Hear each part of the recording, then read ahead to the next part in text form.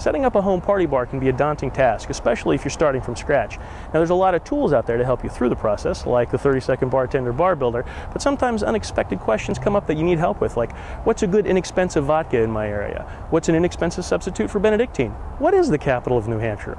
Well, a knowledgeable liquor vendor can help you out with at least two of those questions, and the friendly gang at your local Bevmo store, like the one here in Walnut Creek, California, does a pretty good job of keeping themselves in the know about what they sell, and they might even be able to help you out with a recipe or two. So I'm going to cruise on in and see what's shaking.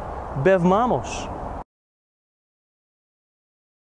I'm Sean Yokomizo, a 30 second bartender, and I'm here with Jon Reimer, the assistant manager here at the Walnut Creek Bevmo store, ninja mixologist, and one of the local Bevmovians who will help you out.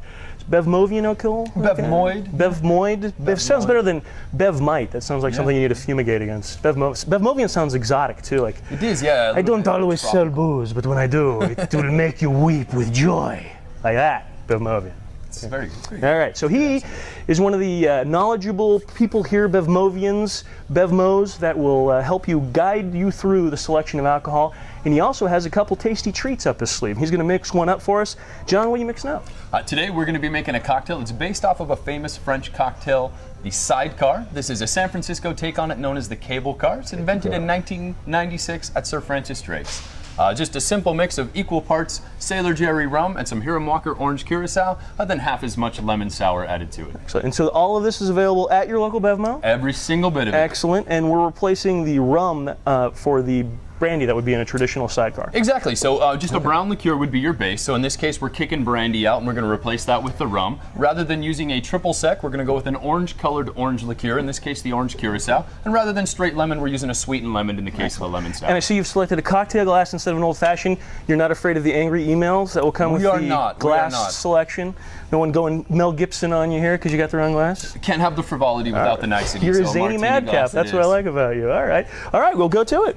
All right, so first we're going to do equal parts of our Sailor Jerry and our Hiram Walker orange curacao thrown right in on top there. Then we're going to go ahead and add to that half as much of our lemon sour. Uh, this is made by mixing lemon juice with a little bit of simple syrup to it. Go ahead and slap the top of our shaker on this bad boy.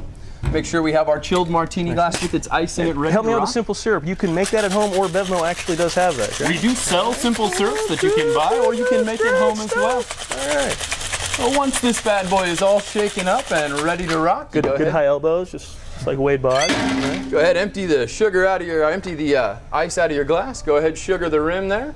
Once your rim is all ready to go, make sure your drink's ready to The springy yellow sugar you have. there. Nice spring color yellow there. Make sure we get all of the tasty goodness out of there. No one wants half a drink here. And once you're ready to go, everything's better with a little touch.